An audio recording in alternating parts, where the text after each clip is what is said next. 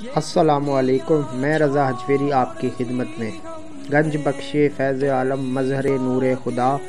नाकिसारा, पीर कामिल, कामिलारा, रहनुमा। हज़रत दाता गंज बख्श अली हजवेरी अलैह की माया नास तसनीफ़ कशुल महजूब की रोशनी में, जो कि एक हज़ार साल पहले लिखी गई, जिसकी मुकम्मल तफसीर आप हमारी यूट्यूब चैनल पर देख सकते हैं। हम जिस हस्ती पाक की खिदमत में नजरान अकीदत पेश करने जा रहे हैं। जिनको अल्लाह के रसूल सल्लल्लाहु अलैहि वसल्लम ने अल्लाह ताला के हुक्म ख़ास पर अपना अजीज़म बनाया। असाब सूफ़ा की एक जमात जो कि हर वक्त मस्त नबी में क़याम पजीर और गोशा नशीन थी। दुनिया से मुँह मोड़कर और कस्ब रिज़ की फ़िक्र छोड़कर याद खुदा में मशगूल अमल थी। जिनके बारे में अल्लाह ताला ने हजूर पाक सल्लल्लाहु अलैहि वसल्लम से इज़ार नाराज़गी और खफगी भी ज़ाहिर की और कुरान पाक की एक आयत भी नाजिल हुई कि आए रसूल, जो लोग दिन रात अल्लाह की खातिर अपने रब की याद में मशगूल हैं, उनको अपनी सोबत से मारूम न रखिए। गर्ज ये कि कुरान पाक इनके फ़जाइल पर नातिक है और हदीस पाक में भी इनके बेशुमार फ़जाइल बयान हुए हैं।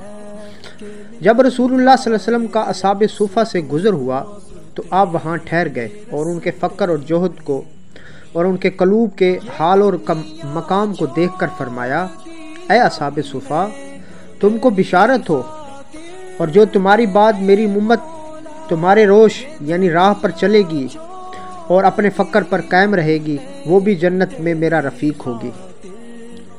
इन्हीं असाब सूफ़ा की लिस्ट में फ़ैर फरिस्त नाम जो कि अल्लाह ताला की बारगाह के अजीज़म और जिनकी आवाज़ से अहल मदीना में रूह फूक गई और जिनकी आवाज़ को सुनकर सहाबा जोग दर जोग सरकार वसल्लम की बारगाह में हाजिर हो जाते थे और जिनकी आवाज़ को अल्लाह और रसूल का बुलावा समझा जाता था और जिनकी एक आवाज़ और जिनकी एक दफ़ा अजान ना देने से तलु सहर ना हुई।